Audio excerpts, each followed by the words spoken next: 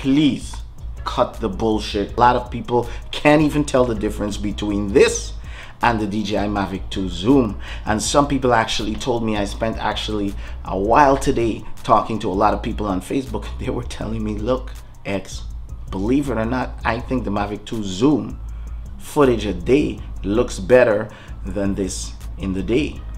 And I'm not surprised. And I can't tell anyone what looks nicer from what doesn't. I can share my personal thoughts on what I think from basically what I look like, what I look at.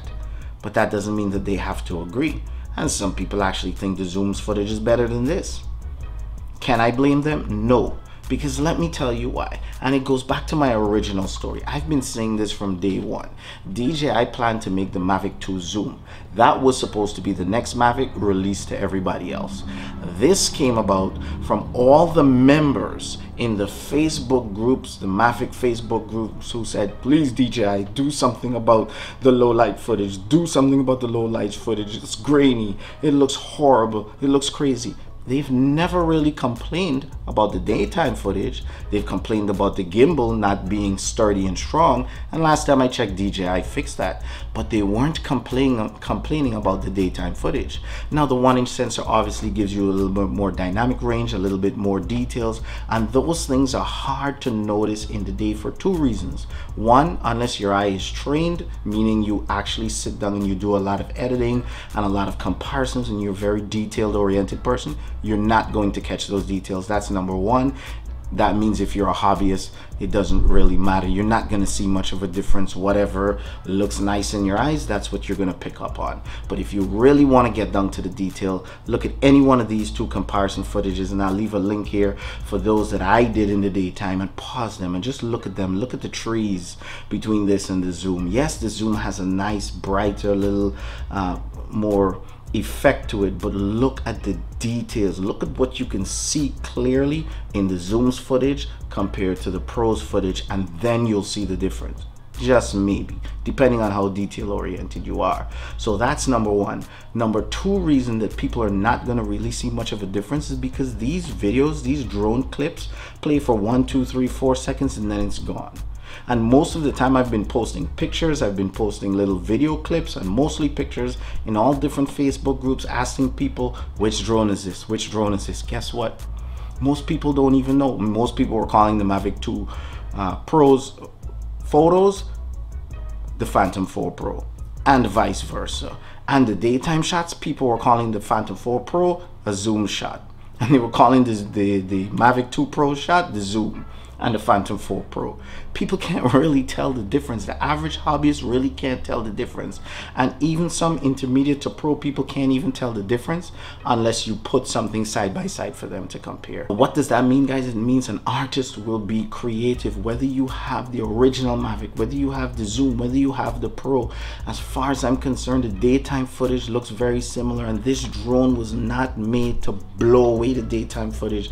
It was made for flying at night. This is what everybody in the Facebook groups have been asking for to fly at night. Now you have it.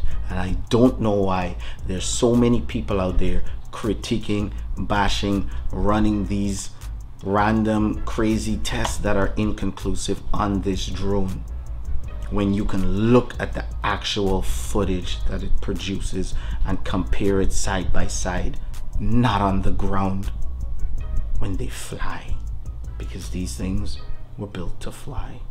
So when you're gonna test it, please test it in the air because that's where they belong.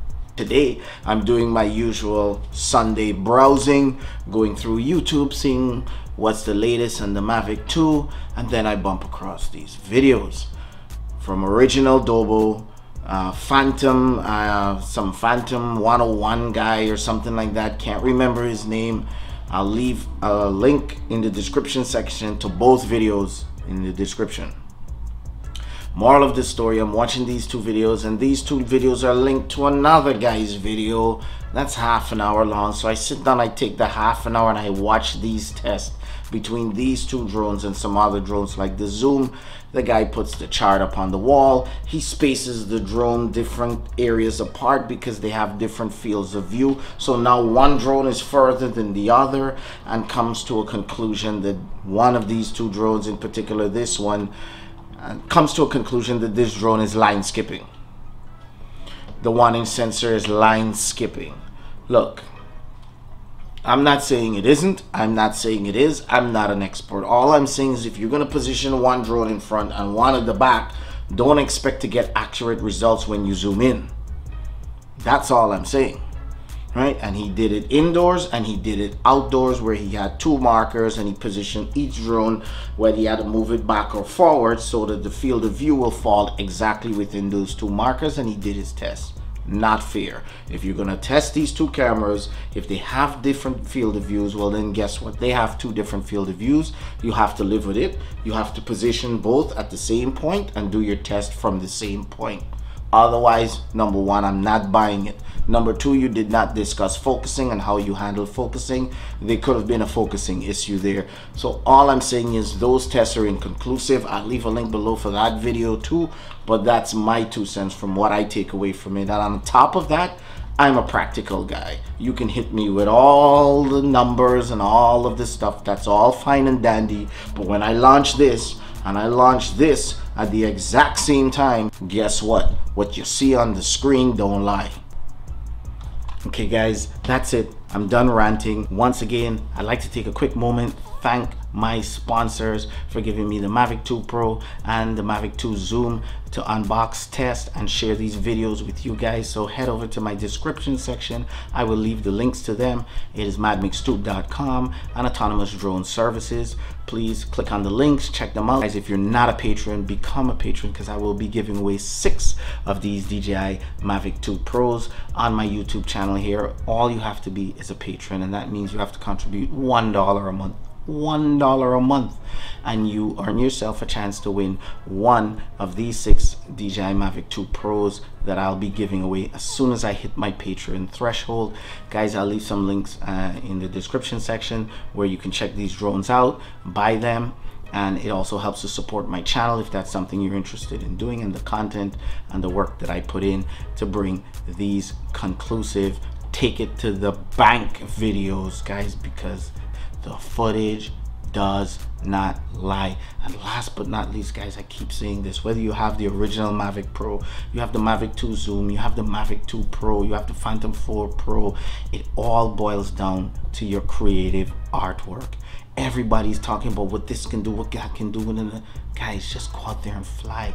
Create paint be the artist that you were meant to be doesn't matter so much what you fly because most people can't tell the difference anyway. So just go out there and create and share.